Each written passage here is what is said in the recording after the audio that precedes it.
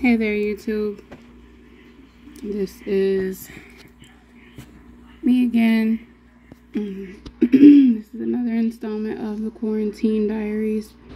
And I am sad to say I lost a fish.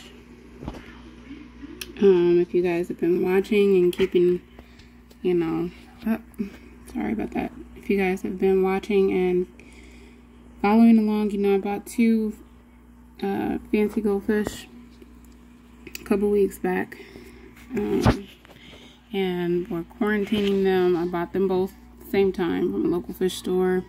They were in the same water system, different tanks, but I believe the same water system. And um, yeah, I purchased them both, quarantined them together in my 10 gallon, my empty 10 gallon. And I started with the Aquarium Co-op Med Trio, followed the instructions for that for one week, and then um, during that process, the calico fantail that I had, which was about half the size of this one, just seemed to be really struggling, and then I could see some fungal growth on the side of her body and back of her anal fins, and it just wasn't good. You know, I could see it progressively getting worse, even with medications dosed in the water. Um, so but you know i know that you know it's not good to stop early and it was probably just in my mind you know just a bad case of it and it would get worse before it got better that sort of thing. So i kept going. Um, then once the uh, med trio dose was over with i did again as aquarium co-op would suggest the Maracyn and Ich-X dosing for five days um, each day um, for 10 gallons. And yeah did that for five days. And it seemed at first like there was you know some behavioral changes that were like making me excited and thinking that there was just you know improvement. I was seeing you know more more activity i guess from the calico you would say. But then slowly you know she started back with that whole nose down bob situation that she was doing and would um, like start like clamping her fins down you know things like that. Not really interested so much in eating but the bacteria or the fungus or whatnot on the side of her body just kind of sat there you know? It just didn't really it started to shed a little bit. Once um, that second round of meds was over i had just done like you know the water change and put aquarium salt in the tank. And was just gonna go go about my business and do that. And you know let that be it and just work with the salt and see if that could help. Um, I honestly wish I would have probably started with the salt now but I came in to do the water change for that. They've only been on the aquarium salt since uh, Wednesday. Yeah, Wednesday was when I did that. And then it just looked like it, it looked like the bacteria or the fungal part was like shedding or like peeling off the body. But I don't know, like the swimming was weird and she wouldn't float, um, you know, nose side down as much, which was a good thing, but she wasn't right side up either. Um, just like completely on her side and not even like doing the big gasps. Like sometimes it looked like she was hardly breathing. I would have to like agitate the water or you know like tap her or bump her or something like that for her to to move to do anything. And then came in to do the water change and you know for lack of a better term she was just belly up.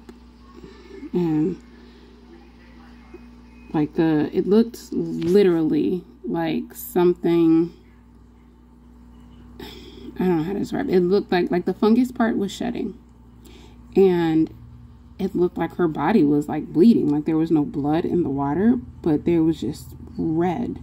And it wasn't ammonia burn like like it looked like blood, you know, under the scales or something like that or like internal bleeding or something like that. And it just didn't work out.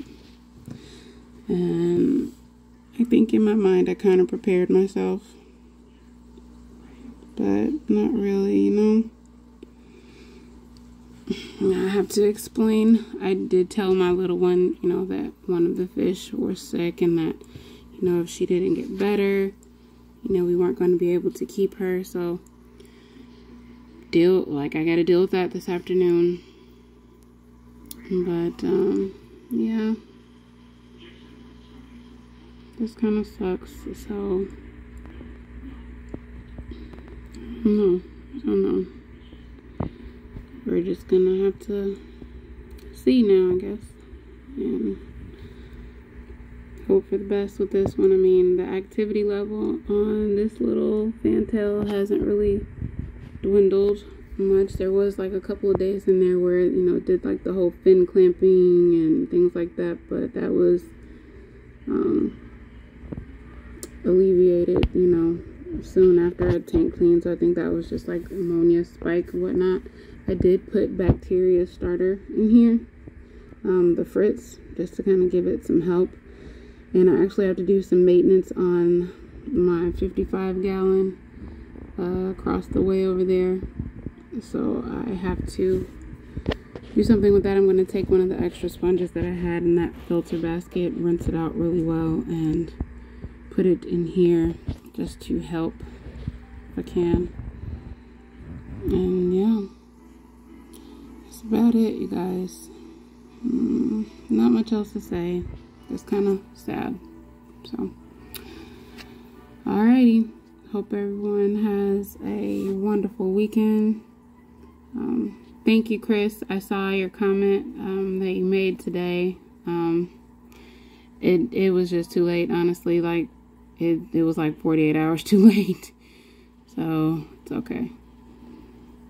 I don't know. I think if I'd have done, like I said, I think if I had started started off with salt, that would have been a better outcome, possibly. You know, maybe. But it is what it is, right? Um, gotta keep on from this. This is why I don't have like a house full of pets, because see, I get attached. I get attached. You love something, you care for it, and you try to do what you can do to make sure that it's well, safe, and healthy. Um, yeah, but right now, we'll focus on what we do have. And this one is gorgeous little boy. I'm pretty sure it's a male. Uh, it's got a little bit of like fin rot, but I think that was just due to the whole stress of everything that was going on. You know, we'll see how he fares prayerfully, so I think he'll do well. He made it through all of that. Um, just hope he doesn't get lonely in here. So, we'll see. Alright, this is, I think, the longest video I've ever had to do. So, you guys take it easy. Alright, bye-bye.